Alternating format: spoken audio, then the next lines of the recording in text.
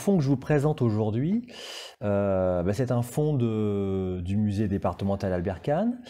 Euh, donc le musée départemental Albert Kahn a pour mission, pour vocation, euh, eh bien de présenter au public la personnalité d'Albert Kahn et des différentes fondations qu'il a mises en place donc tout au long de sa vie. Donc je reviendrai dessus tout à l'heure. Donc cette, cette conférence, ce n'est pas un état des lieux d'une recherche euh, aboutie, c'est plutôt euh, des perspectives que je voudrais tracer, puisque moi je suis arrivé dans ce musée il y a euh, finalement un peu moins de deux ans, et, à la recherche d'un premier sujet à étudier, je, me suis penché sur ce fonds Afghanistan, qui a la particularité de n'avoir jamais été réellement montré au musée, de n'avoir jamais été réellement diffusé, et qui est documenté de façon extrêmement partielle nous n'avons aucune archive sur ce fonds, euh, mis à part quelques courriers, quelques lettres qui, euh, documentent euh, le devenir, notamment des films, après, après la période des archives de la planète. Donc c'était énormément de perspectives pour moi autour de ce fonds, et donc la conférence d'aujourd'hui, c'est un peu partager ces... Ces, envies de recherche, ces perspectives avec vous, et puis vous montrer aussi quelques images de l'Afghanistan en couleur, mais aussi en mouvement, puisque je vous ai prévu quelques séquences filmées euh, réalisées euh, lors de cette mission, puisque c'est bien une mission d'exploration euh, mise en place par Michel Clémenceau en 1928 pour la réalisation d'un chemin de fer en Afghanistan. Donc quelques petits mots tout d'abord pour vous, vous, parler un petit peu des, archives de la planète. De la personnalité d'Albert Kahn. Hein. Donc Albert Kahn, c'est un juif euh, alsacien qui naît à Marmoutier en 1860 hein, dans une famille de marchands de bestiaux, famille de marchands de bestiaux plutôt aisée. Il est marqué très tôt par, par différents, différents drames, la perte de sa mère, la guerre de 1870 qui évidemment touche, euh, touche sa région de façon, euh, de façon très importante puisque la région est, euh, est annexée.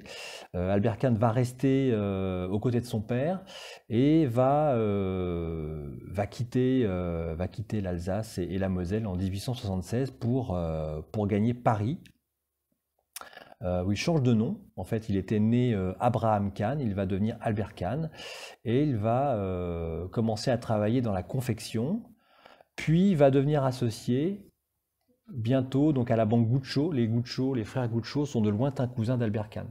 Et donc à la banque Guccio, il, va, il, va faire des, va faire des merveilles va devenir un chargé d'affaires euh, très, euh, très efficace, devenir associé en 1891 et euh, à force de bons coups, de spéculation notamment sur les matières premières, notamment en Afrique du Sud, eh bien, va s'enrichir et, va s'installer dans, dans un hôtel particulier de, de Boulogne-sur-Seine à l'époque, hôtel particulier qui va louer, puis finalement acheter et va entourer de jardins euh, à partir de 1892 acquérir de nombreuses parcelles, donc qui vont devenir aujourd'hui les jardins que certains d'entre vous peut-être connaissent à Boulogne, donc les jardins, les jardins Albert Kahn. À partir de 1898, il crée la banque, euh, la banque Cannes, banque d'affaires, euh, fonde donc les bourses autour du monde, euh, donc dédiées à de jeunes chercheurs, de jeunes agrégés, pour les inviter à, quitter, à quitter leurs pour aller à la découverte du monde, et donc va mettre en place à partir de cette époque toute une série de fondations destinées à favoriser le dialogue entre les peuples et à favoriser donc la paix, la paix dans le monde.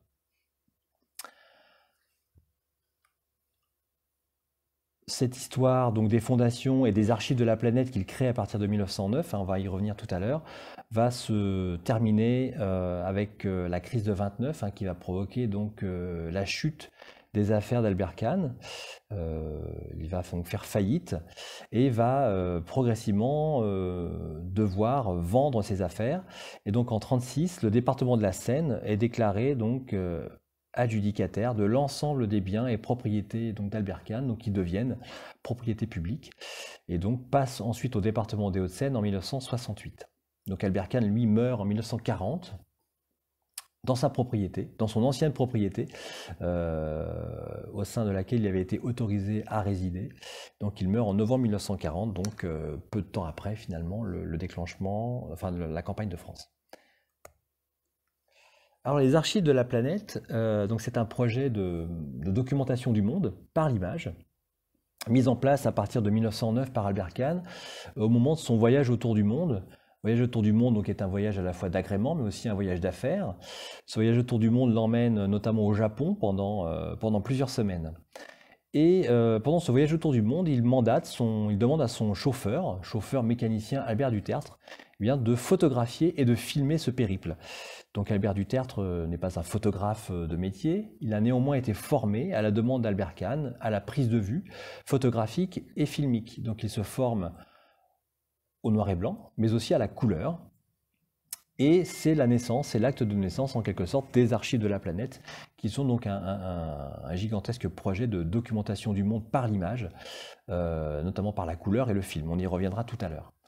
Euh, une douzaine d'opérateurs vont être recrutés par Albert Kahn pour remplir cette euh, mission de documentation par l'image. vous avez ici une petite grille qui vous présente la liste des opérateurs embauchés par Albert Kahn, leur période d'activité et leur euh, registre d'activité, soit autochrome, soit autochrome et film ou seulement film. Pour encadrer cette, euh, cette troupe d'opérateurs, eh bien, Albert Kahn s'entoure euh, d'un directeur scientifique. ce directeur scientifique, c'est Jean Brune, que vous avez ici en double portrait. Jean Brune, donc un, des fondateurs de la géographie humaine. Euh, professeur au Collège de France, professeur à la Sorbonne, qui va, euh, qui va définir euh, les priorités scientifiques des archives de la planète. ces archives de la planète, c'est un ensemble de photographies, de films qui ne sont pas destinés à être publiés, à être montrés publiquement, mais qui sont en réalité destinés à une diffusion restreinte. Diffusion à un cercle restreint d'invités d'Albert Kahn dans les jardins de Boulogne. Des projections sont organisées, projections en couleur, projection de films, donc projection extraordinairement restreinte, mais elles sont également projetées, ces images, lors des cours et conférences de Jean Brune à la Sorbonne ou au Collège de France. Et Jean Brune avait euh, défini l'image comme étant un des supports essentiels de la pratique euh, géographique et va donc utiliser les archives de la, planète à cet effet. La plaque autochrome, c'est un procédé positif, c'est un procédé unique, c'est-à-dire qu'en fait, une plaque n'est pas reproductible, ce n'est pas un procédé négatif-positif on crée une image positive directe.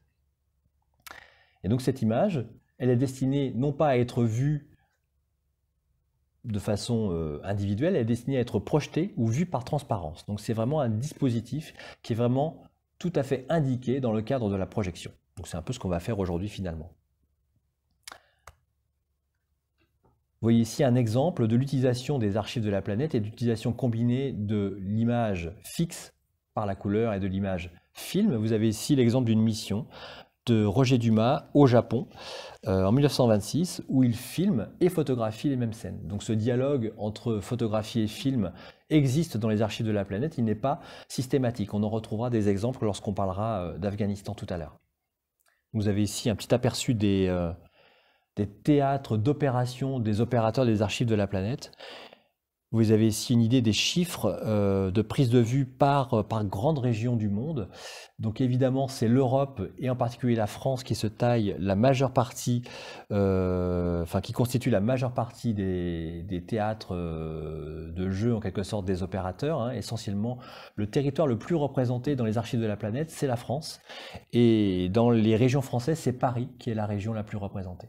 Donc loin d'être de n'être que des voyageurs. Les opérateurs sont avant tout euh, des photographes qui documentent euh, au plus près euh, de Boulogne-sur-Seine. Quelques vues en Amérique du Nord, très peu en réalité, essentiellement au Canada. quelques vues au Brésil, mais très peu. C'est l'occasion d'un voyage personnel d'Albert Kahn qui peut permettre qui de photographier le Brésil en couleur, et un nombre assez important de vues en Asie. Vous avez ici une répartition des, des, sujets. Donc, comme je vous le disais, la France, majeure partie, l'Europe essentiellement, euh, l'Asie qui constitue également un terrain de jeu très important pour les opérateurs. Les quatre, euh, grands thèmes peuvent être, euh, montrés. On peut classer en quelque sorte les, sujets des archives de la planète dans quatre grands thèmes. Hein, la géographie, l'ethnologie, vous avez ici quelques exemples à la fois en France mais dans les Indes, euh, l'actualité, donc ici un des sujets majeurs, c'est euh, la, Première Guerre mondiale. et le voyage. Le voyage avec ici des, des, vues très esthétisantes, même si la dimension esthétique n'est pas majeure dans les archives de la planète, hein, c'est vraiment un but documentaire. Parfois certaines images sont parfois arides, puisque Jean Brune demandait notamment beaucoup de prises de vue topographiques, euh, prise de vue de terrain, de plaine, de montagne, euh, en dehors de toute visée esthétique. Donc l'idée, c'est d'aller collecter une image à visée documentaire. Mais les opérateurs, en particulier euh, ici Gadmer, également Cuville ou encore Passet, eh ont aussi leur propre autonomie du regard. Ça, c'est un sujet de recherche du, musée à venir, la façon dont les opérateurs interprètent les consignes de Jean Brune et dont parfois ils s'en affranchissent. Euh, notamment pour développer aussi un langage esthétique. vous avez ici dans cette vue de, Gadmer euh, en Syrie une, démonstration assez, euh, assez parlante, je trouve, de la dimension esthétisante que peuvent prendre parfois les autochromes des archives de la planète. Et puis ici, ce fond de portrait, ce fond de à travers trois exemples, hein, Venizelos, président du Conseil des ministres du gouvernement grec, Colette, ainsi donc que le Zunon Medje, le roi de la nuit, roi béninois, en visite euh, à Boulogne en 1931, à la suite d'une des dernières missions des archives de la planète réalisée au Dahomey en 1930. Voilà pour ce petit euh, panorama rapide des archives de la planète. passons à l'Afghanistan, qui est l'objet de, de, cette mission de 1928. Donc quelques mots euh, rapides sur euh, la personnalité du, roi, donc Amanoula, euh, qui succède donc à son père Abiboula suite à, son assassinat en février 19. donc il est programmé émir en février donc 1919 Amanoula, titre qu'il va abandonner pour devenir pour prendre celui de roi. Et c'est le début d'une période d'ouverture pour l'Afghanistan ouverture sur euh, vis-à-vis notamment des pays européens, euh, puisque le, notamment le, la France puis l'Italie reconnaissent euh, le nouvel État dès 1919 et des relations se mettent en place, relations officielles, diplomatiques à partir de, 1922. Amanoula a très vite pour ambition de moderniser, de moderniser le pays, à l'image des réalisations d'Atatürk en Turquie notamment et va euh, engager un grand programme de modernisation euh, sur un certain nombre de domaines, l'agriculture, les communications, les institutions. Euh, il s'attaque vraiment également à l'aménagement, l'aménagement du, territoire. Vous avez ici un exemple du barrage de Ghazni en Afghanistan, euh, qui, est remis en état par, euh. Donc cette période d'ouverture euh, sur l'extérieur, elle se manifeste aussi avec des envies, notamment de construction de chemins de fer. On verra tout à l'heure sur une carte la raison de, ces, de ce besoin aussi en termes de, moyens de, communication. Donc c'est une période d'ouverture qui va finalement se, terminer assez rapidement avec la, chute d'Amanoula à partir de, enfin, en 1928. Donc, en, guise de symbole de cette ouverture, Amanoula et, la reine Soraya entreprennent un, voyage, un long voyage de plusieurs mois, euh, comme vous pouvez le voir euh, sur ce, euh, de plus d'un an en réalité, sur, cette, sur cette diapositive, voyage en Europe qui l'amène au, faire quasiment un tour d'Europe. Hein. C'est la Suisse, c'est l'Italie, c'est la France, euh, l'Allemagne, le Royaume-Uni, euh, la Pologne, l'URSS, avec un retour également par la Turquie et la Perse. Donc l'idée de ce voyage, il est, double en réalité. Est, c'est à la fois un voyage destiné à montrer que l'Afghanistan euh, a sa place sur la scène, sur la scène internationale, mais c'est aussi un voyage qui consiste à aller, en quelque sorte, voir ce qui se fait de mieux dans les pays européens. Donc l'idée, toujours dans cette idée de, modernisation, c'est d'aller chercher le, meilleur en Europe pour, euh, bien pour euh, mettre l'Afghanistan sur, euh, sur le, chemin, le chemin du progrès. Donc c'est un voyage qui, qui, est vraiment très, très organisé. Hein. Les échanges diplomatiques sont nombreux entre les, euh, le pouvoir afghan et, les chancelleries occidentales. Les échanges à ce titre sont assez bien retranscrits dans les archives du, ministère des Affaires étrangères. On vient, euh, on vient chercher, euh, on essaie d'anticiper, on construit un programme.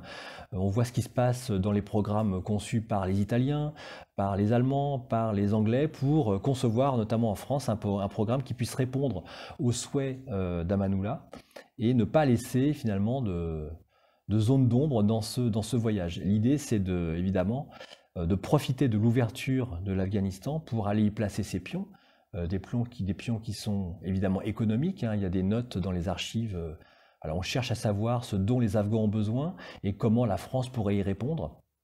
Donc il y a une ambition euh, très importante. Et la visite d'Amanoula aussi, entre visites euh, d'usines, on se déplace au Creusot notamment, entre visites d'établissements culturels, euh, le roi et la reine vont à Versailles, ils vont à Guimet si je me souviens bien, il y a des réceptions officielles évidemment à l'hôtel de ville, à l'Élysée, mais également des réceptions officielles à l'Université de Paris le 30 janvier 1928. Et cette journée du 30 janvier 1928, elle est vraiment, euh, vraiment intéressante pour notre, pour propos, puisque euh, Amanoula rencontre à deux reprises les archives de la planète. Tout d'abord euh, lors d'une réception officielle qui est organisée en fin d'après-midi au grand amphithéâtre, amphithéâtre de la Sorbonne, où Jean Brune projette une sélection euh, d'images, une sélection d'autochromes d'Inde, euh, d'Égypte, d'Italie et de France, qui sont en réalité les pays traversés par Amanoula. Donc il y a une projection en couleur euh, selon les modalités des projections habituelles de Jean Brune, avec donc une causerie, hein, c'est une projection argumentée qui est supportée par un discours, un discours de Jean Brune. Donc cette projection, elle est, elle est suivie d'une réception en grande tenue. Il y a il y a un concert euh, qui est donné. Et Amanoula donne également une allocution qui est enregistrée euh, aux archives de la parole. Vous avez ici euh, la transcription de ce, discours, archives de la parole, donc conservé à la BNF. Le lendemain, Amanoula se rend à Boulogne-sur-Seine à Boulogne-sur-Seine, pardon, dans la propriété d'Albert Kahn. Il est reçu par Albert Kahn, euh, également par euh, les membres de ce qu'on appelle à l'époque le club autour du monde. Hein, donc c'est la fameuse société autour du monde qui réunit les boursiers, euh, boursiers d'Albert Kahn. Une réception, un dîner sont donnés. Euh, donc c'est marrant parce que dans les archives du musée, on a le plan de ce dîner. Euh, donc la reine ne figure pas, elle est absente, elle est excusée pour, euh, pour raison de, fatigue. Et donc il y a une visite des jardins de Boulogne. Donc on voit ici sur, cette, sur ce photogramme d'un film qui figure dans les collections du musée, on voit donc la visite du roi, donc qui est au premier plan, donc aux côtés d'Albert Kahn. Vous avez Albert Kahn qui est ici donc tout au bout, et donc le roi, le roi à ses côtés.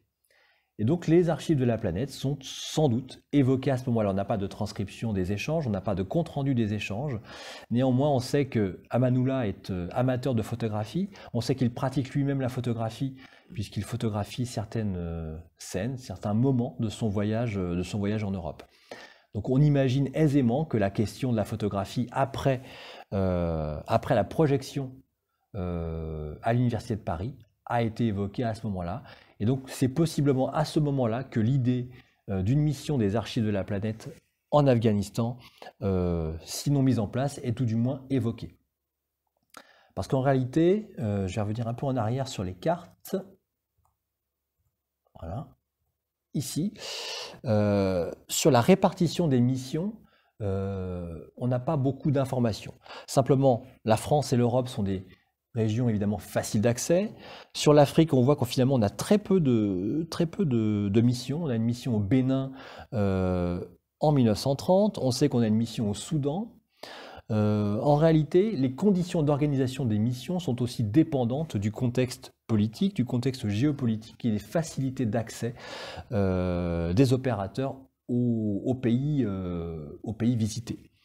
Donc évidemment, si la perspective d'une euh, mission euh, d'exploration des archives de la planète en Afghanistan a été évoquée à ce moment-là, restait à mettre en place euh, les conditions matérielles de, l'opération. On verra tout à l'heure, les conditions matérielles, c'est toute une expédition qui est organisée, et donc ça demande une préparation et des moyens, des moyens conséquents.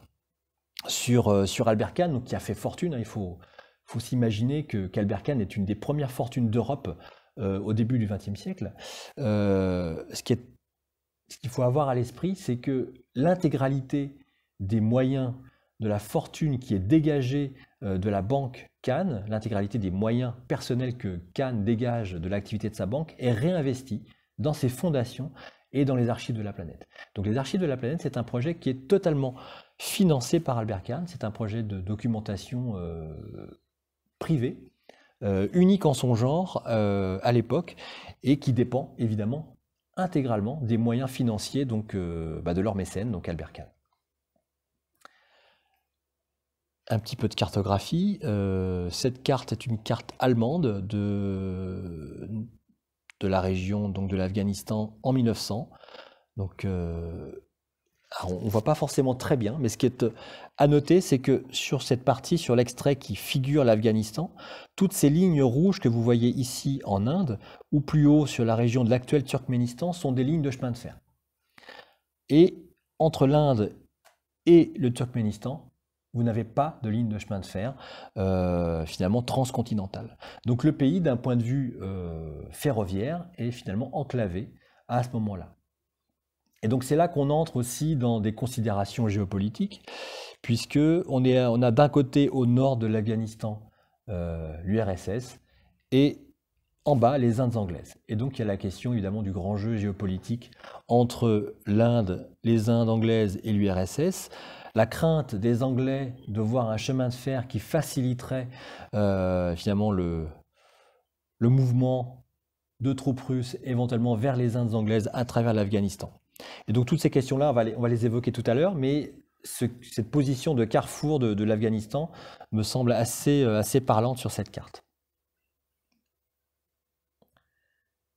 Et donc c'est là qu'intervient la mission d'étude des chemins de fer, donc entre juillet et octobre 1928, donc j'ai oublié la date, pardonnez-moi. Euh, mission d'étude des chemins de fer mise en place par Michel Clémenceau, donc fils de Georges Clémenceau. Mission d'étude des chemins de fer sur laquelle va se greffer une mission des archives de la planète. Donc vous avez ici un portrait de, Michel Clémenceau. Donc Michel Clémenceau met en place, donc à partir de en 1928, donc une expédition qui est destiné à étudier la faisabilité et les tracés potentiels euh, d'un chemin de fer euh, qui relierait Kaboul euh, au chemin de fer du Turkménistan. Donc il signe un contrat avec le gouvernement afghan le 1er mai 1928 contrat à titre totalement privé. Euh, le gouvernement français n'est pas partie prenante euh, dans l'affaire. Contrat qui lui permet euh, bien de se réserver l'exploitation de cette ligne pendant 99 ans et un certain nombre de monopoles, notamment sur des activités agricoles et minières en Afghanistan.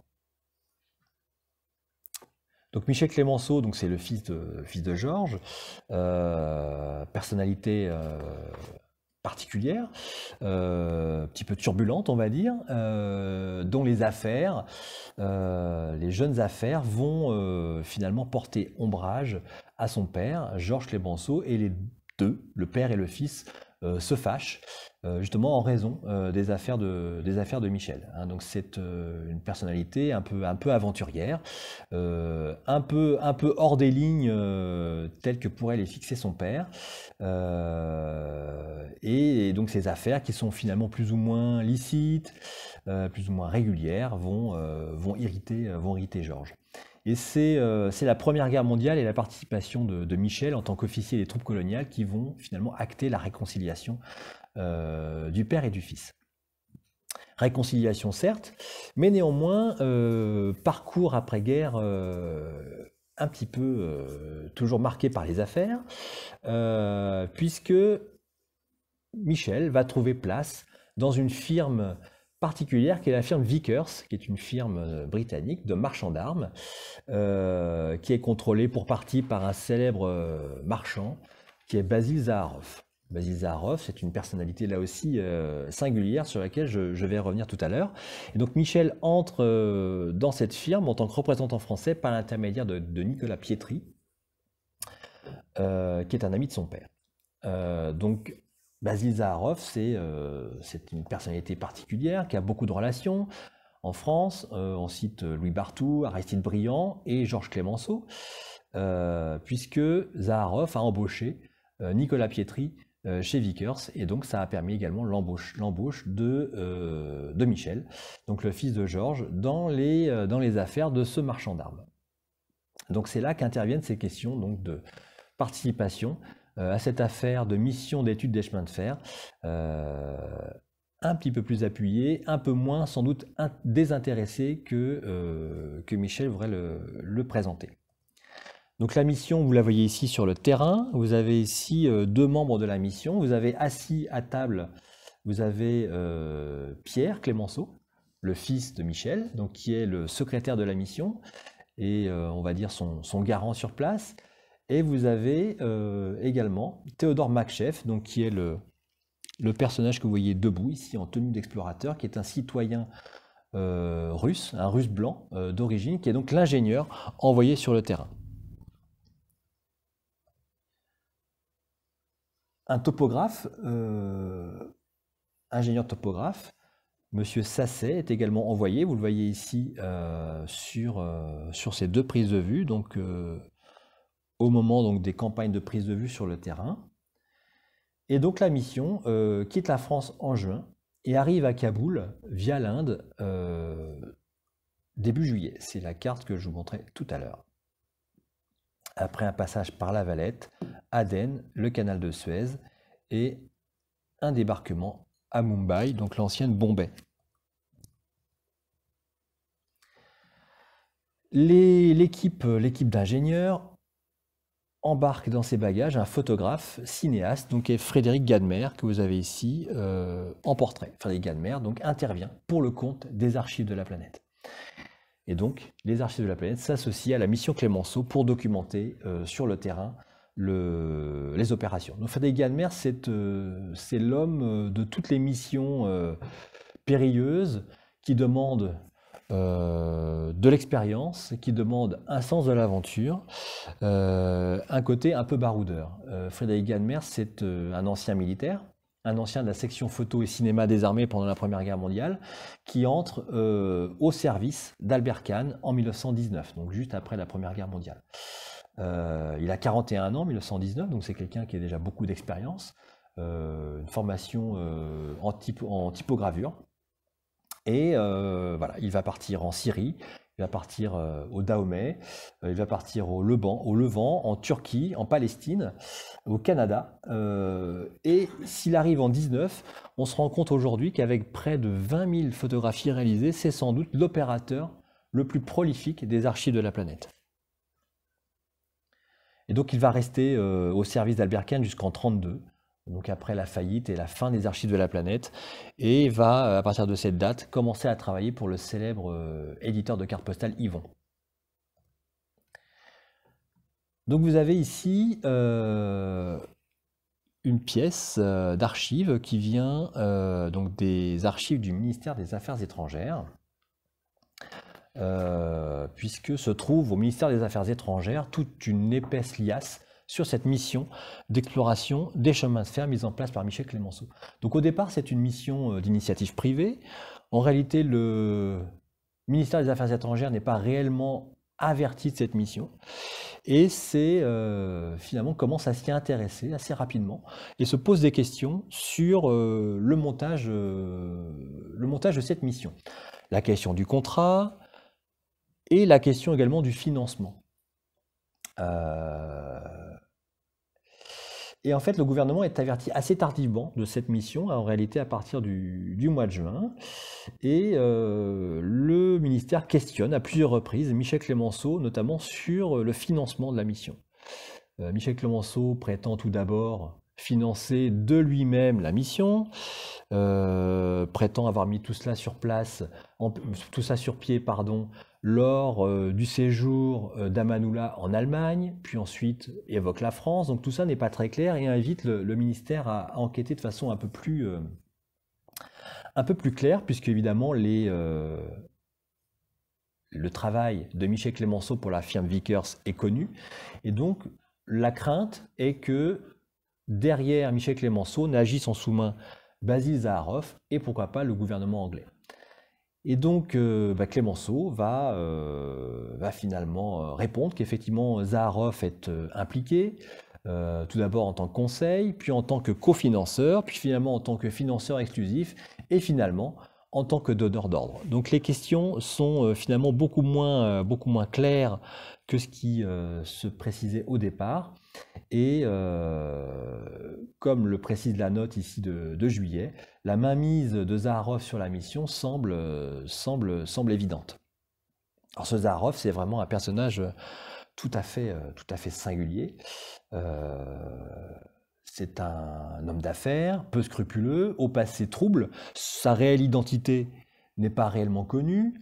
c'est un homme qui a ses entrées chez tous les hommes d'État, dans tous les gouvernements de la planète, qui euh, vend des armes lors des conflits aux deux belligérants, quand il n'encourage pas lui-même les conflits pour vendre ses propres armes, euh, n'hésite pas euh, à utiliser les femmes pour, pour parvenir à ses fins. et il est par ailleurs richissime puisqu'il détient 2% de la firme Vickers dont il est le marchand principal. Et c'est un personnage qui est tellement haut en couleur, tellement connu, que vous voyez que c'est lui qui a inspiré le personnage de Basil Bazarov euh, dans L'oreille cassée de Tintin dès 1937. Vous voyez que le lien entre cette photographie, dont j'ai pas encore réussi à retrouver la, provenance, et euh, le dessin de Hergé est, est évident.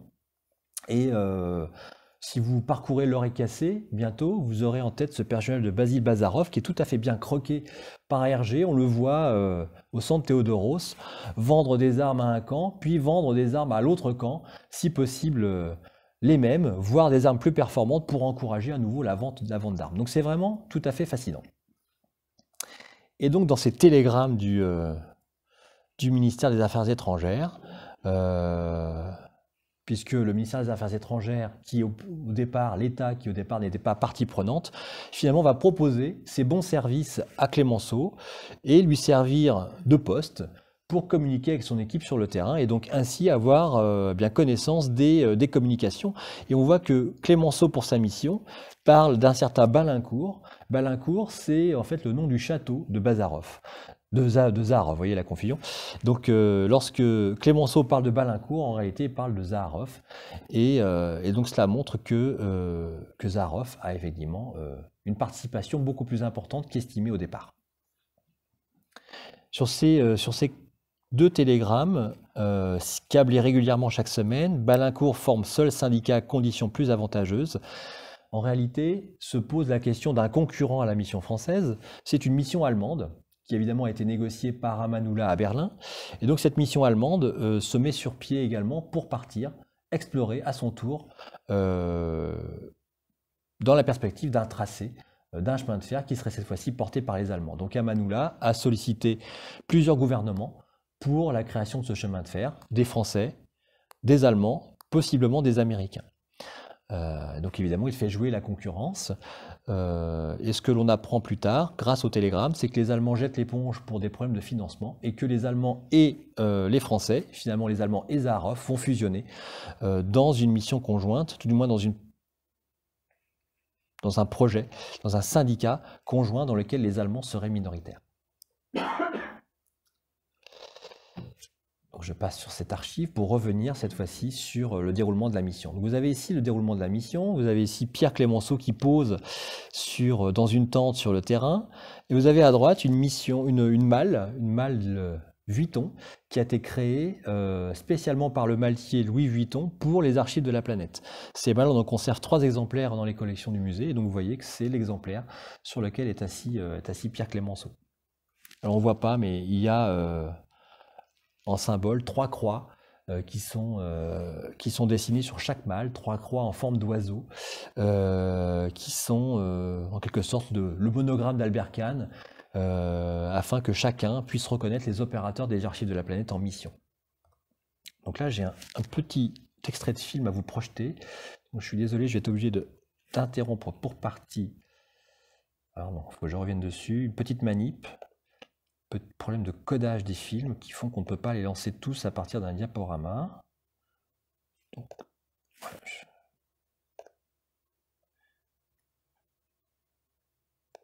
Voilà, vous avez les opérateurs sur le terrain, vous voyez ces mâles qui sont chargés. Donc je ne vous montrerai pas les films dans l'intégralité, hein, puisqu'il y a euh, un film monté d'une demi-heure sur les archives de la planète et des extraits de films entre 3 et 8 minutes. Mais vous avez un bon aperçu euh, de cette ressource. Et donc vous avez ici euh, de toute la question logistique autour, autour, de, ce film. Euh, qu'est-ce qu'on peut vous dire sur ce film-là? Donc, on a le campement de la mission d'étude des chemins de fer et le départ à cheval pour la traversée des monts Paro-Pas-Misades, pardon. Vous voyez ici l'importance de la mission. Donc, d'un point de vue logistique, c'est tout à fait considérable. Derrière euh, les quelques noms que je vous ai cités, vous avez ici euh, tout le concours apporté par le gouvernement afghan et par par les populations locales à la mise en place de cette mission sur le terrain. Je reviens à mon diaporama.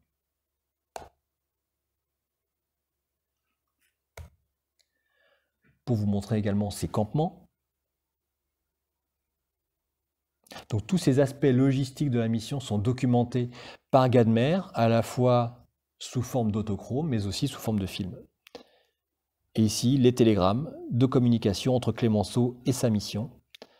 Euh, Clémenceau qui euh, veut évidemment avoir des nouvelles euh, fréquentes, le plus rapidement possible de la part de son équipe sur le terrain. Et on a les, réponses également dans les, dans les archives. Donc cette communication qui est complètement finalement chapeautée par le ministère des Affaires étrangères. Et donc Gadmer documente la mission. On voit ici un pont, un pont de bateau. Je vais vous lancer le, film. C'est tout à fait intéressant également ce film.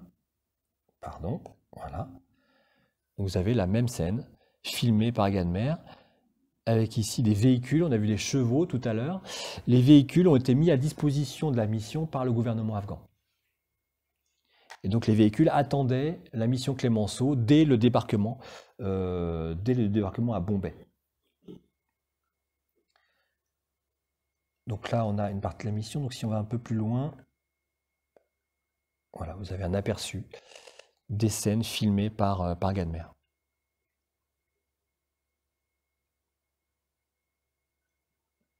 Donc ces films sont toujours conservés sous forme originale au musée, en forme de bobine nitrate. Donc c'est la consultation des cartes, ça a été également filmé, la constitution des rapports, donc vous avez Pierre Clémenceau ici, euh, secrétaire de la mission, et, donc l'ingénieur euh, Macchef, euh, donc qui lui dicte les éléments ou qui consulte ici les cartes. Et je crois qu'à la fin, on a même la dictée d'un télégramme, les télégrammes qu'on retrouve dans les archives aujourd'hui.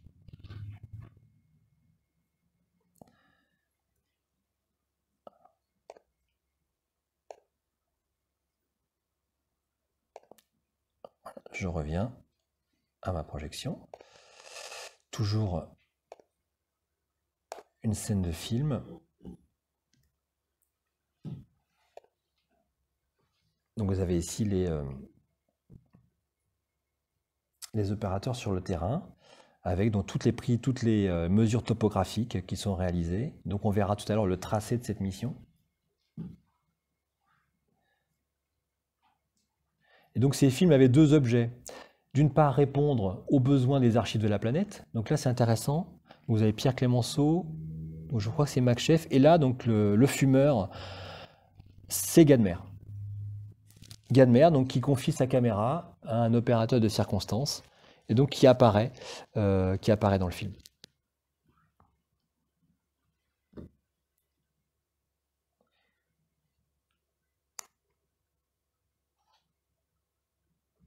Et donc là, la question, c'est euh, la, prospection de pétrole.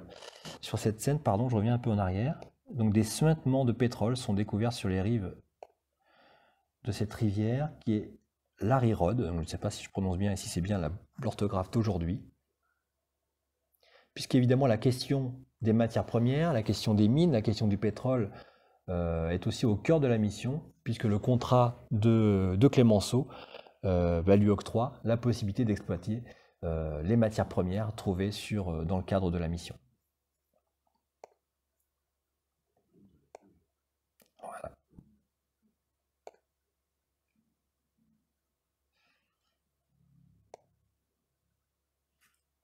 Vous avez ici le tracé, euh, le tracé de la mission.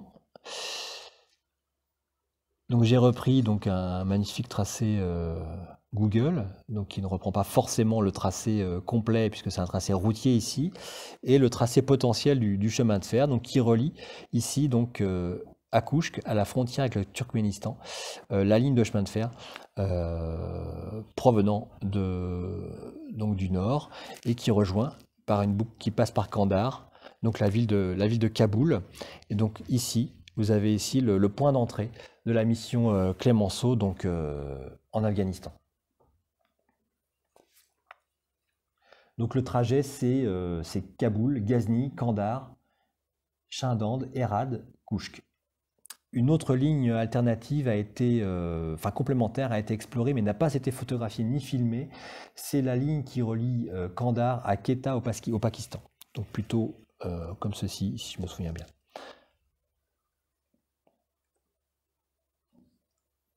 Vous avez ici la carte des prises de vue euh, de Ganmer euh, avec le nombre de photographies réalisées par, par emplacement. Donc toutes les photographies du fond ont été géolocalisées et donc permettent de reconstituer cette carte. Néanmoins, la, précision des légendes, la précision des localisations, à bon sens, demande à être euh, revérifiée. Et donc, je pense qu'à la marge, cette répartition des prises de vue, ce dispositif euh, de géolocalisation devra être revu. Euh, c'est un projet final de la recherche, c'est de constituer aussi une, une story map reconstituer la mission, géolocaliser le plus précisément possible les images pour aussi pouvoir accéder plus facilement à l'information. Qu'a photographié, qu'a filmé Ganmer Donc ce sont essentiellement les grands sujets des archives de la planète, tels que Jean Brune euh, les, euh, les codifie, les demande à ses opérateurs, les villes, les ouvrages d'art, donc ponts, routes, chemins, tout ce qui est en relation avec l'habitat, euh, les aménagements agricoles. On est vraiment dans les fondements de la géographie humaine telle que la conçoit Jean Brune, les équipements urbains, hydrauliques, techniques et le travail des hommes. Donc là, un film embarqué cette fois-ci, nouveau codage. Donc là, ça fonctionne beaucoup plus facilement. Donc ça, c'est le, c'est l'arrivée de la mission en Afghanistan. Donc je vous parlais de précision documentaire. Euh, dans notre base de données, euh, cette image est répertoriée comme sortie d'Afghanistan, datée du 29 octobre 1928.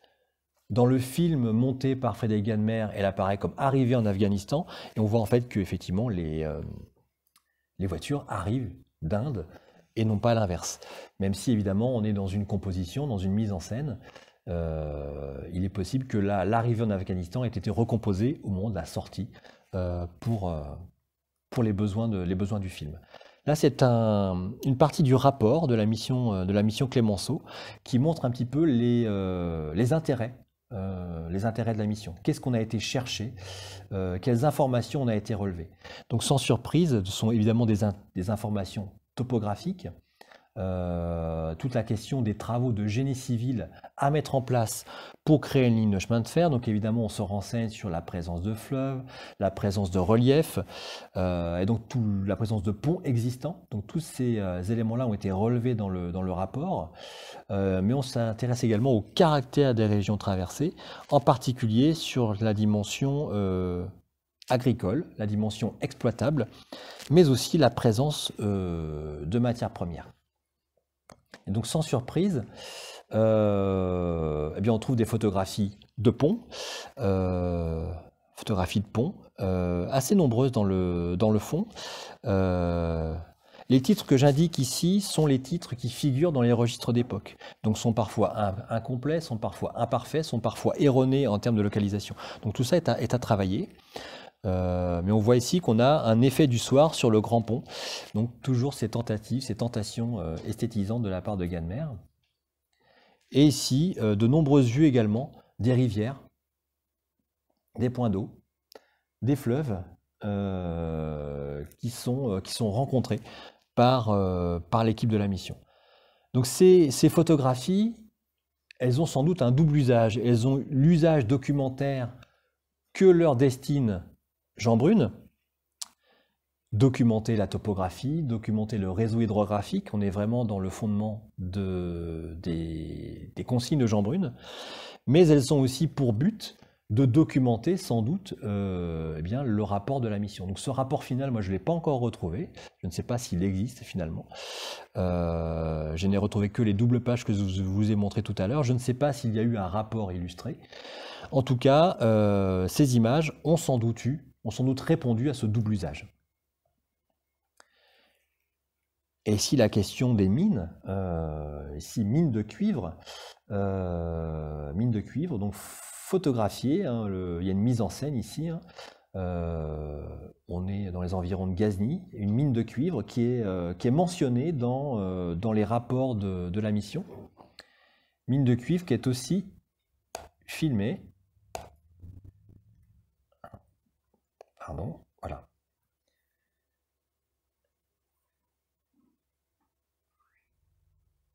Donc c'est une, séquence qui est euh, également parfaitement documentée. Donc cet intérêt pour les, euh, matières premières, euh, bah, figure également dans, dans les objectifs de la mission. Et donc on, photographie, donc on retrouve la même scène ici, photographiée et filmée. Avec voilà, le matériau, l'analyse du matériau,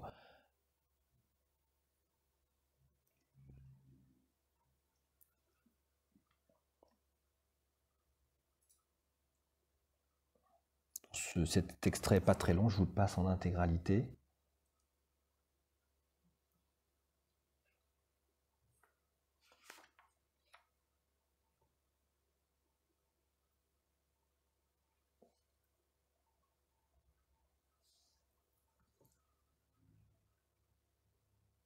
Toutes ces séquences sont, euh, tournées sur des films, euh, sur des bobines de films nitrate en négatif.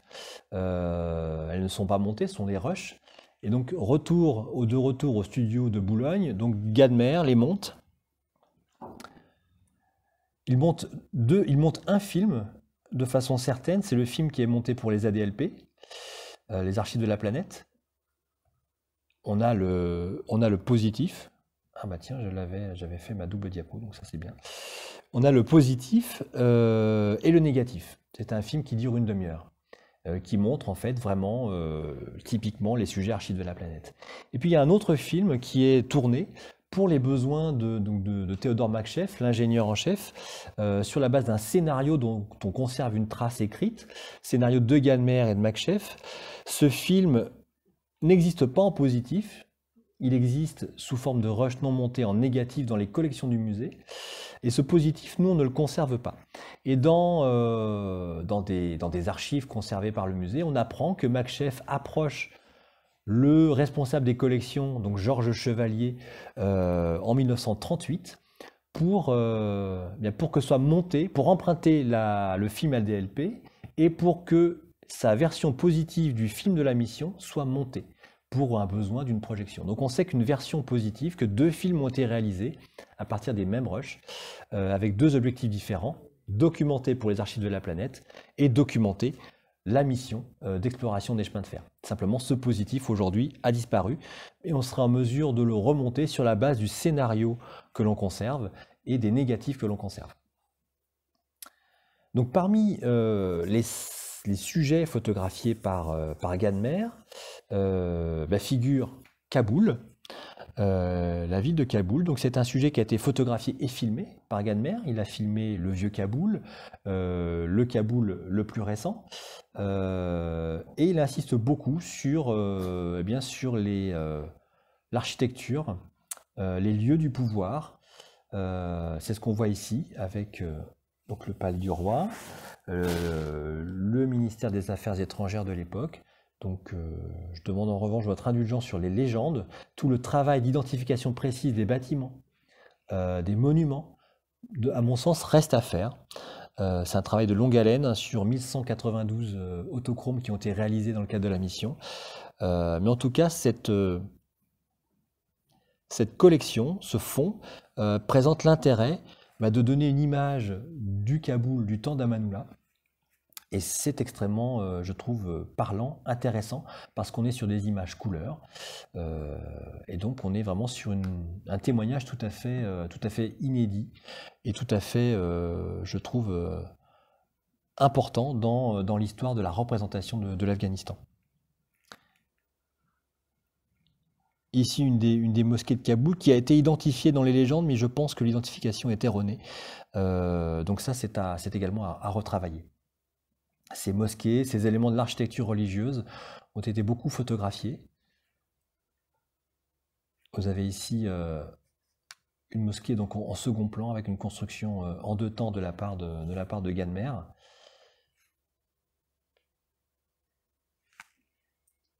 Et ici, donc, des éléments d'architecture autour, de, autour de Kaboul.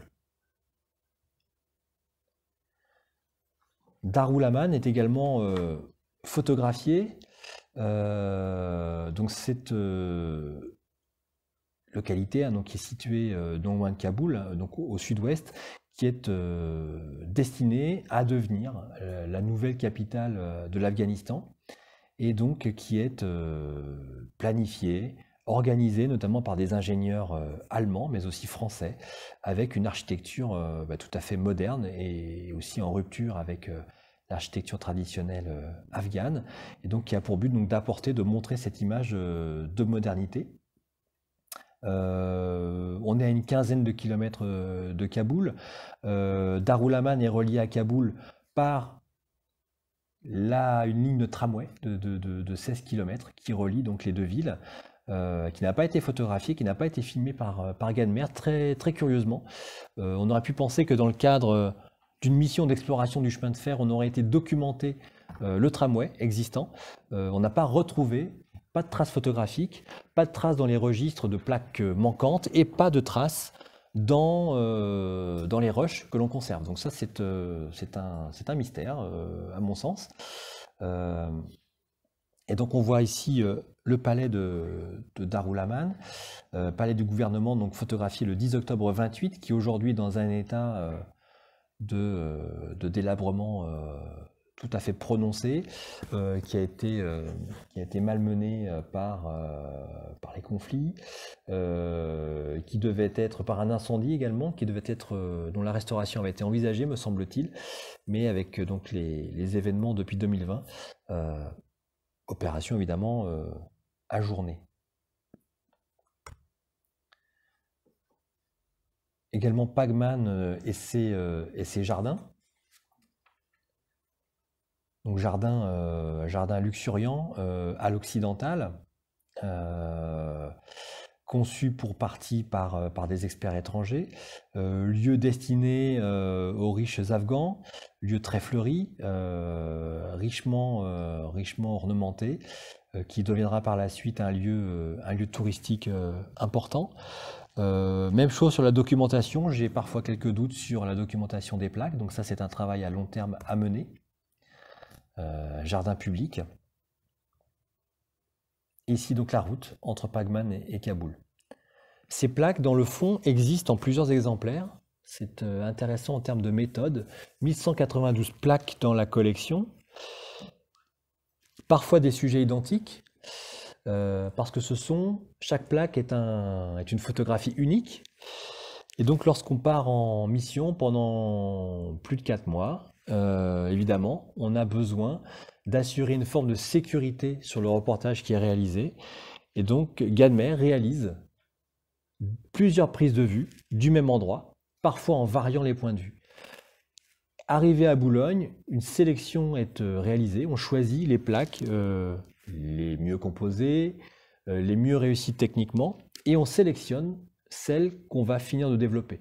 Parce que l'autochrome, c'est un procédé de, développement exigeant. On a une première étape de développement qui révèle une image négative, une étape d'inversion qui passe l'image en positive, et on a une première image qui est euh, assez peu contrastée, assez laiteuse, mais lisible, et qui permet de faire un choix. Une fois qu'on a fait le choix de la plaque, on termine son développement en appliquant un deuxième bain de développement, ce qui donne des plaques définitives, qui ont donc cet aspect.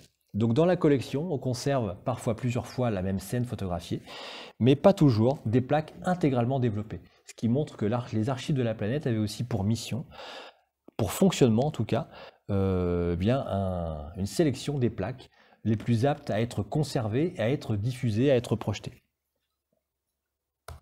Donc autre scène ici euh, à Pagman. Donc l'architecture euh, agricole est, euh, est, également très photographiée avec cette euh, photographie que je trouve absolument fantastique sur les moulins à vent de, de. On est donc, si je me souviens bien, au nord nord-ouest de l'Afghanistan. Scène qui a été photographiée mais aussi filmée. Je refais ma petite manip.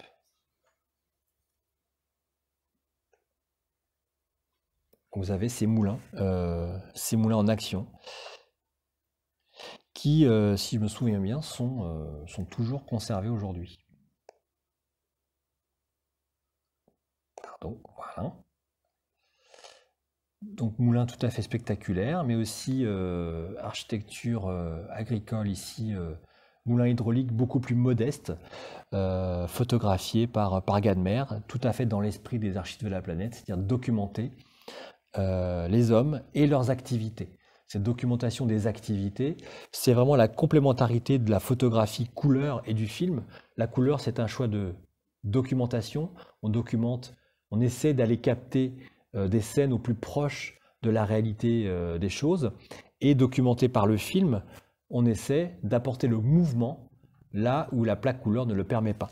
Parce que cette, cette plaque autochrome, elle a pour, pour caractéristique euh, d'être relativement opaque, puisqu'on a une couche argentique, on a une couche de fécule de pommes de terre, donc elles sont beaucoup moins transparentes que les plaques photographiques noir et blanc classiques, et donc elles demandent un temps de pause plus long, entre 1, 3, 4, 5 secondes en fonction de, l'intensité lumineuse. Donc toutes les scènes que vous voyez sur les autochromes sont des scènes qui sont posées. On ne sait pas euh, saisir le mouvement, on n'essaie pas saisir des scènes sur le vif par les autochromes, on est forcément dans la composition, et donc on est aussi dans une tradition, tradition picturale finalement assez particulière en matière de photographie, qui rapproche euh, évidemment euh, l'autochrome par la couleur, mais aussi par euh, ces scènes qui sont relativement figées, qui les rapprochent de composition plus proche de la peinture notamment. Donc ici, euh, un petit métier, euh, un orfèvre. Donc ce sont des scènes traditionnelles des archives de la planète.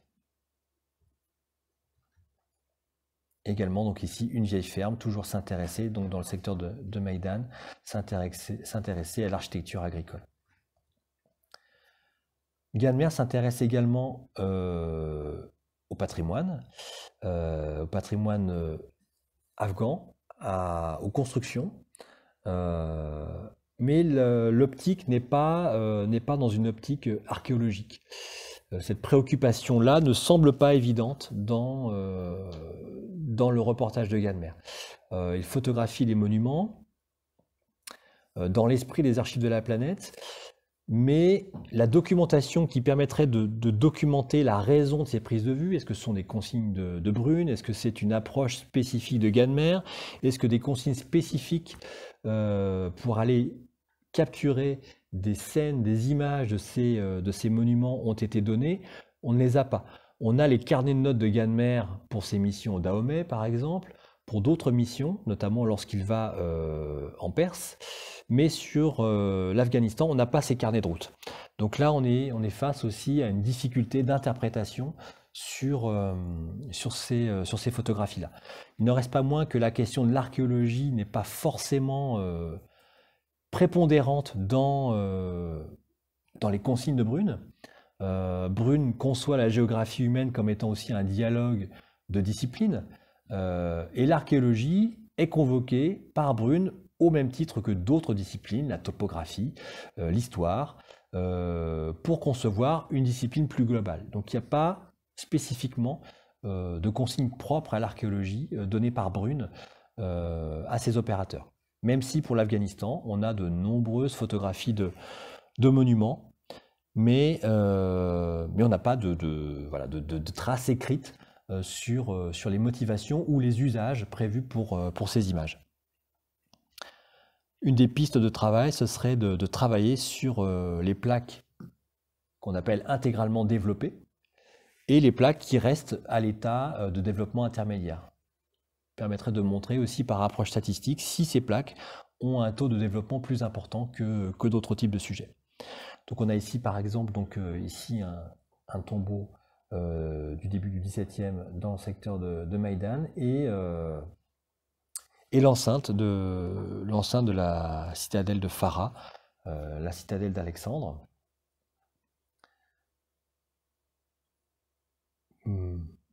Enfin, endroit tout à fait emblématique de, l'Afghanistan. Ici également des scènes tout à fait, enfin des photographies, euh, je trouve tout à fait euh, incroyables. Euh, notamment, une base d'un des minarets restants d'une mosquée, avec ici cet apport incroyable de la couleur pour la documentation des, de, ces, vestiges en, 1928. Et à côté, donc un détail de la tour du minaret de, Massoud III, donc monument du, euh, XIIe siècle, euh, qui, qui est réduit aujourd'hui en taille, puisque, me semble-t-il, un tremblement de terre l'a, l'a couché, hein, faisait plus de, plus de 40 mètres de hauteur, aujourd'hui seulement une vingtaine, je crois. Et donc, euh, Gadmer a photographié ici le monument sous, sous, différentes coutures, à différents angles de vue. On l'a euh, dans son intégralité. Et on a ici les photographies de, de détail, donc de la base, de la base du minaret. Et donc ici d'autres scènes, euh, d'autres, vestiges de tombeaux du début du XVIIe. Galerie de portrait, évidemment, euh, c'est une, euh, une, constante des archives de la planète que d'aller photographier les populations, de les filmer, mais de les photographier. Donc série de portraits. Donc ici, de thé, ce peut être des, paysans, euh, familles, euh, de, nomades, mais aussi combattants, tout type, euh, vraiment dans la, dans la terminologie du 19e et du 20e, vraiment des types afghans sont photographiés pour documenter, pour alimenter les conférences de Jean Brune, mais aussi pour garder la mémoire de ces populations. Puisque dans les motivations des archives de la planète, il y a les conférences de Jean Brune, évidemment, pour documenter, euh, documenter l'état du monde, mais l'idée aussi de constituer une archive pour le futur. Donc toujours l'idée d'aller collecter un peu ces traces d'un monde, d'un monde en train de changer, et donc qui est, en Afghanistan, sur un monde en train de s'ouvrir. Euh, le nombre de portraits est tout à fait important dans, euh, dans les archives de la planète. On documente également les Français présents en Afghanistan, donc euh, Mademoiselle Collin, l'institutrice française des enfants d'Amanoula, qui est photographiée à très nombreuses reprises, assise, debout, dans les jardins de Pagman, dans les jardins du Palais Royal. on trouve également ici Monsieur et Madame Girard, fondateur, directeur de l'école d'agriculture, leur fils. Donc c'est aussi tout à fait intéressant sur les sociabilités d'expatriés de l'époque un certain nombre de portraits de ce type figurent dans le, dans le reportage. Et, euh, et ça, c'est assez unique dans les archives de la planète. On a d'habitude des portraits des populations locales, beaucoup moins des populations, enfin beaucoup moins des expatriés. Et, dans le cas de l'Afghanistan, c'est tout à fait intéressant puisqu'on est aussi en 28, euh, on est un peu, un peu moins de 10 ans après euh, finalement l'ouverture du pays, après l'accession, après le règne d'Amanoula. Et donc je voudrais terminer cette projection par un coucher de soleil. Alors pourquoi je termine par un coucher de soleil Déjà parce que je trouve que cette scène est tout à fait euh, charmante et qu'on a de nombreux couchers de soleil dans euh, ce fond Afghanistan, mais que les conférences de Jean Brune se terminaient toujours par un coucher de soleil. C'est une euh, façon de, clore, de clore la séance par un coucher de soleil. Et un certain nombre de conférences de Jean Brune sont conservées sous forme écrite. On a pu en reconstituer certaines en retrouvant les autochromes projetés, puisqu'on a la liste de toutes les autochromes projetées dans les conférences de Jean Brune. donc sur la foi des conférences écrites et euh, des autochromes, euh, eh bien on peut reconstituer ces conférences. Et donc aujourd'hui, je termine par un coucher de soleil. Euh, je n'oublie pas de vous dire où ça se trouve. C'est Ghazni, coucher de soleil sur les montagnes de Ghazni, c'est la légende de l'époque, le 11 août 1928. Je termine euh, la conférence par cette petite séquence. je suis disponible pour vos questions. Et pendant la question, je vous montre le film de, des archives de la planète, monté par, euh, par Ganmer. Voilà, c'est mieux comme ça. Et je suis à votre disposition si vous avez des questions, des remarques, des compléments d'information. Je suis sûr que vous n'en manquerez pas, parce que l'idée c'était vraiment de vous faire un petit peu un... vous présenter ce fond aujourd'hui, vous le mettre un petit peu dans un contexte plus large, et euh, vous montrer les pistes dans lesquelles euh, enfin, je souhaite travailler pour commencer sur ce fond, pour le documenter de façon plus ouverte, et aussi le partager de façon plus, euh, plus large, euh, vis-à-vis du public et aussi vis-à-vis des, collègues, euh, puisque euh, l'idée maintenant, c'est de commencer à, travailler, puisque la première étape, c'était les archives des affaires étrangères, les archives du musée. maintenant, l'idée, c'est d'aller d'aller chez les collègues pour, pour documenter ce fond, le partager et le contextualiser de façon plus importante. Voilà, je vous laisse la parole. Pas... alors,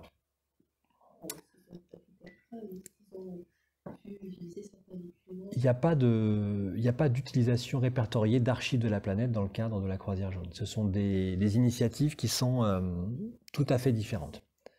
les, opérateurs. de Cannes ont pu être euh, partagés, hein, notamment pendant la Première Guerre mondiale. Castelnau, Cuville travaillent à la fois pour la SPCA, la section photo et cinéma des armées, et les archives de la planète, mais sur la croisière jaune, il n'y a pas d'initiative commune. Est-ce qu'on sait comment, son, comment a été reçu c'est-à-dire Alors oui, on...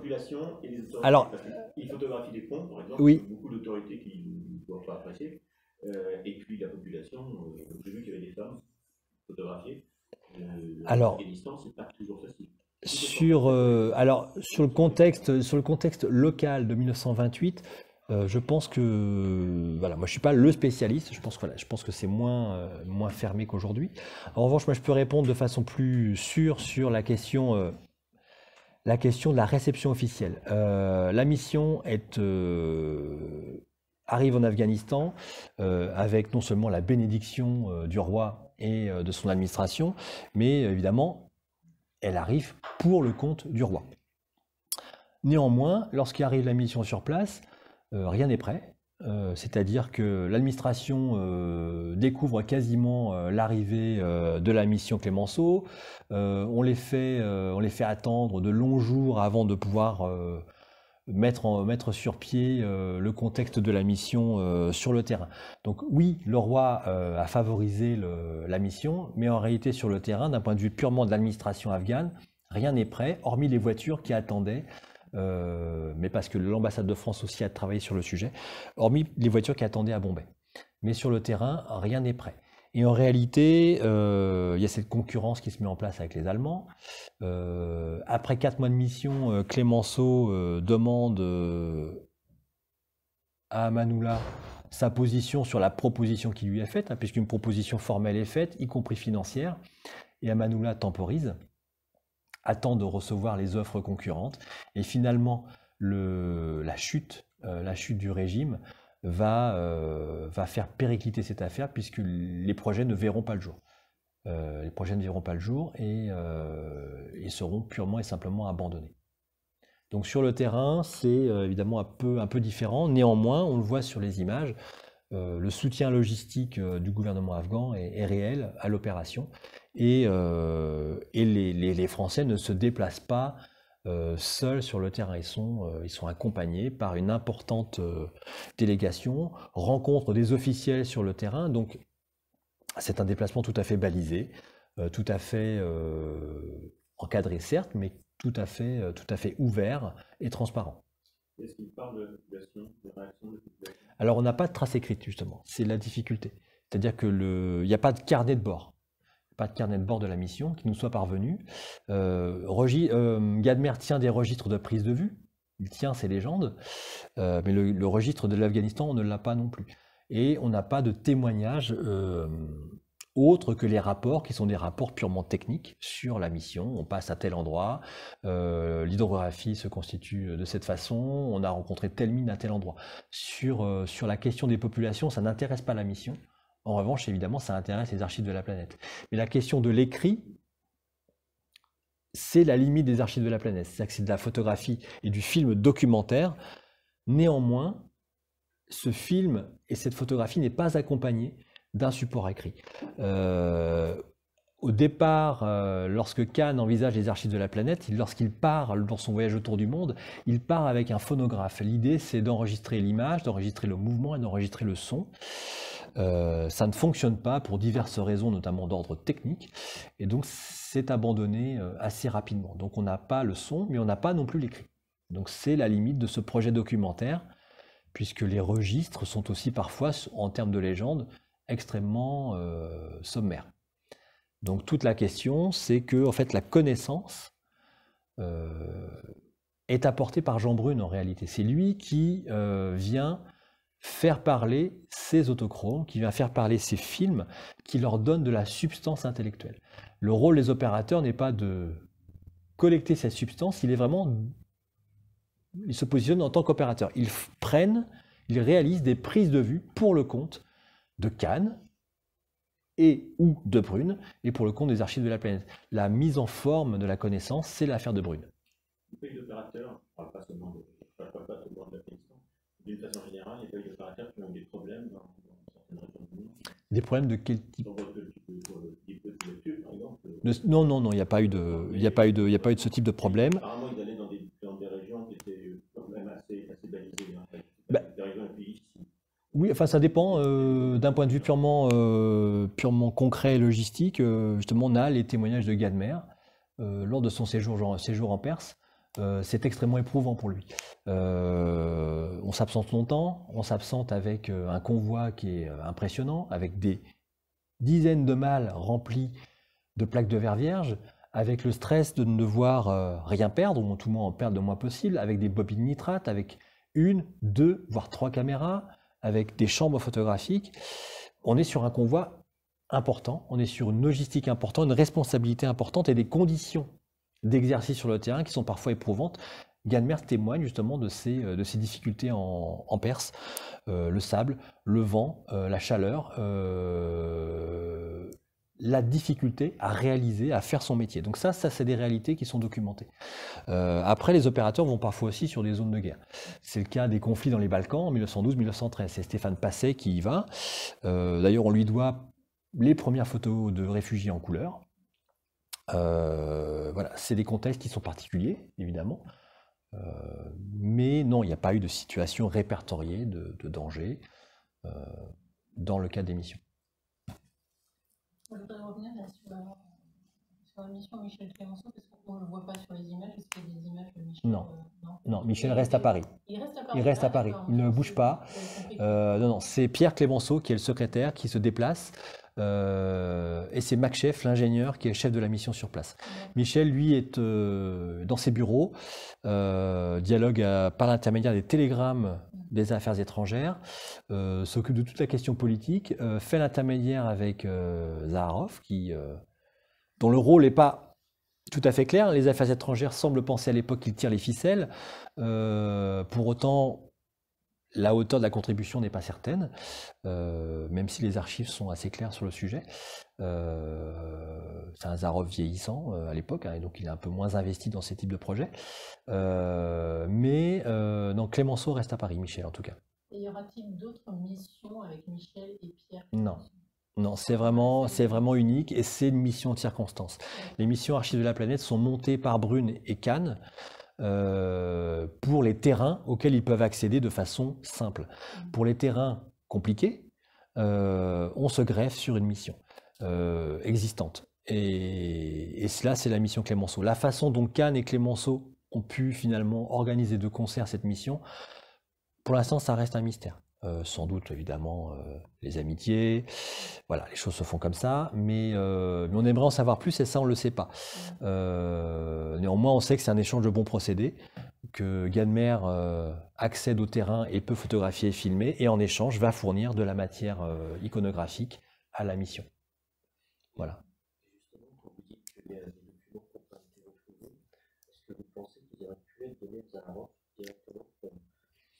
Alors, Il y, a des, archives à creuser à l'étranger. Euh, sur Zaharov, donc il y a des travaux universitaires qui ont été menés de façon très récente, qu'on peut exploiter.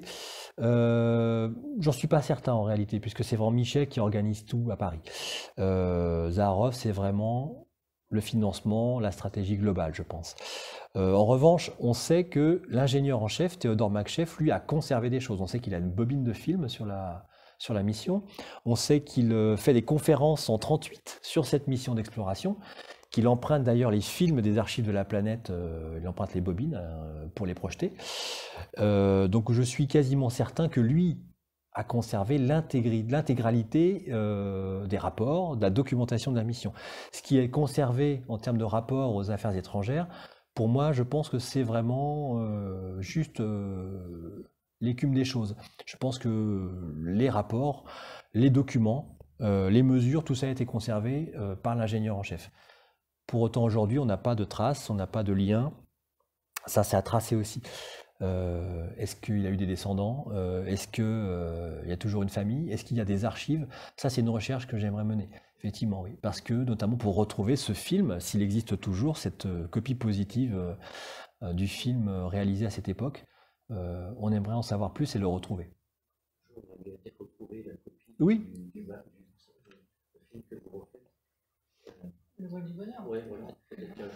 Oui, oui. Et, et d'ailleurs, on a, il y a un réseau film, hein, c'est la FIAF, euh, et on peut interroger les, euh, les collègues de la FIAF pour savoir si, euh, si ce film n'est pas passé euh, dans des collections euh, publiques euh, d'un adhérent de la FIAF. Euh, donc ça, c'est une question qu'on va poser en tout cas. Oui. Et vous Michel Pierre? Alors Pierre, moi j'ai pas d'infos sur Pierre. Euh, j'ai pas beaucoup travaillé sur, euh, sur Pierre. Euh, Michel, lui, il va avoir une carrière politique. Voilà, après, après ces épisodes-là, il va continuer ses affaires. Je sais pas quand est-ce qu'il quitte Vickers, il faut que je regarde ça, mais j'ai pas, j'ai pas encore retravaillé sur cette partie de l'après. En tout cas, Michel a ses carrières politiques. Et ça, c'est tout à fait, tout à fait intéressant, mais moins lié pour le coup à l'Afghanistan. Et, euh, et je pense que rien n'est conservé dans, dans la famille sur cette mission-là. Enfin, on en avait parlé, Lise. euh, a priori, il n'y a rien. On a demandé directement à Ouais. Euh, l'un des descendants de, de Michel Clemenceau, qui savait même pas en fait, il était courant. Non. Donc voilà, euh, c'est vrai que j'ai pas, euh, avant de conférence, Ouais. a votre conférence, c'est vrai que je ne suis pas allée voir la vie de Pierre Clémenceau, c'est vrai que je sais pas si. Euh.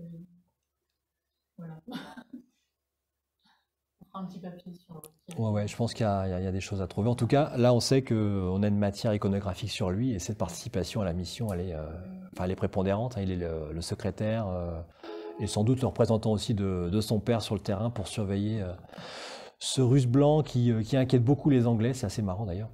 Les Anglais qui s'émeuvent auprès de- des affaires étrangères, que ce soit quand même un Russe qui a été choisi pour mener cette mission. On est toujours sur cette question de, bah, du grand jeu entre, entre les Russes et les Anglais. Donc on s'inquiète que ce soit un Russe, on s'inquiète de, la mainmise euh, euh, des Russes sur la mission. En fait, il n'en est rien, puisque c'est un Russe blanc. Euh, pour autant, euh, les Français s'inquiètent de la mainmise des Anglais sur la mission par intermédiaire de Zaharov. Euh, voilà, euh, et on sait dans les papiers d'ailleurs que, que Clémenceau, évidemment, passe des papiers à Zaharov. Donc tout ça, c'est vraiment des, euh, des, des inquiétudes qui sont, euh, qui sont légitimes hein, dans ce contexte euh, géopolitique. Donc il y a vraiment, on sent à un moment donné, là, en juin-juillet, un émoi aux affaires étrangères autour de cette mission. Les notes se multiplient, les rapports se multiplient. On interroge, on interroge euh, les agents de l'ambassade en Afghanistan, euh, on interroge les Anglais, et puis on se rend compte que les Anglais disent pas tout, mais en fait les Anglais euh, s'en moquent un petit peu tant que, tant que la situation ne met pas en péril les Indes anglaises. Enfin tout ça c'est vraiment très très intéressant en termes de jeu géopolitique et c'est encore à creuser. Oui, puis sachant aussi que c'était aussi le film du père de la victoire, il Oui. ne peut-être pas faire non plus trop de. trop de... Et en fait, euh, Georges Clémenceau n'apparaît qu'à une seule reprise dans les archives. Euh, c'est un télégramme à son fils, euh, lui souhaitant, le meilleur succès. Mais c'est extrêmement, extrêmement laconique, rien de plus. Voilà, donc. Il n'y a, pas de, participation, en tout cas avérée, de, Georges Clémenceau à cette affaire-là, hormis peut-être en mise en contact des uns avec les autres, mais rien qui ne soit documenté en tout cas. Moi, j'ai une question. Tout d'abord, merci pour votre présentation. J'ai une question peut-être plus personnelle dans le cadre euh, de, de vos travaux. Euh, J'imagine que à chaque fois qu'il y a une photo, à chaque fois qu'il y a un document, la liste de questions, elle est, elle est exponentielle. Oui. Comment fonctionnez Vous avez un petit carnet. Comment vous considérez l'importance euh, d'un détail? Euh, Il y a, a- a l'intuition, c'est un travail d'investigation. Il y a, vous vous accompagnez de d'Afghans peut-être pour avoir un filtre ou des, des Alors, réflexes. C'est, euh, toutes ces questions-là, elles sont, elles sont très justes parce que c'est euh, effectivement la question que je me pose en ce moment. Comment maintenant, une fois qu'on a un petit peu dégrossi ce travail-là, comment aller plus loin? Donc effectivement, il y a, euh, il y a cette question de l'indexation précise des images, de leur euh, légendage précis, évent- éventuellement de revenir sur ces, euh, sur ces légendes d'époque qui sont parfois imprécises euh, ou erronées. Euh, et donc de trouver la méthode. Et donc cette méthode pour nous, c'est, en tout cas au musée, c'est comme ça qu'on essaie de travailler. C'est forcément pluridisciplinaire. Euh, c'est forcément d'associer euh, d'autres collègues, d'associer voilà, des, des- gens qui savent sur la matière, puisque en tant que gestionnaire d'archives, on n'est pas forcément spécialiste de la matière, sinon on serait spécialiste de tout. Moi, je suis pas spécialiste de l'Afghanistan. J'espère le devenir un peu plus, mais je ne serai pas un spécialiste. Donc l'idée, c'est aussi de s'entourer des gens qui savent pour, euh, pour constituer aussi cette matière documentaire autour de cette, de cette archive-là.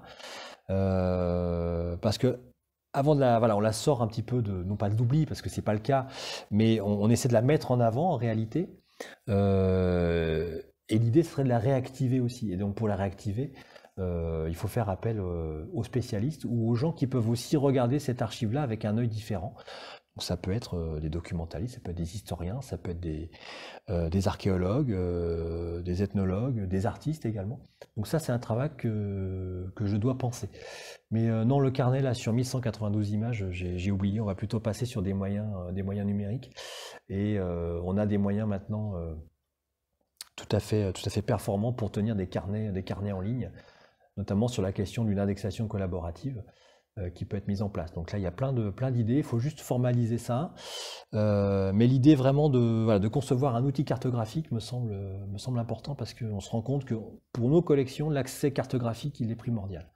C'est de cette façon aussi qu'on peut créer, euh, créer une autre forme de connaissance et c'est aussi la façon dont étaient conçues les archives de la planète.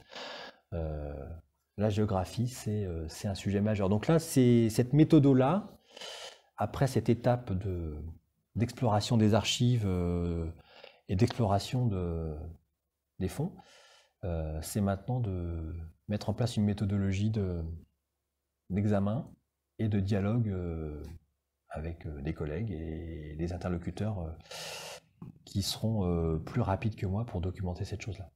Voilà. Ben, merci beaucoup, Anthony.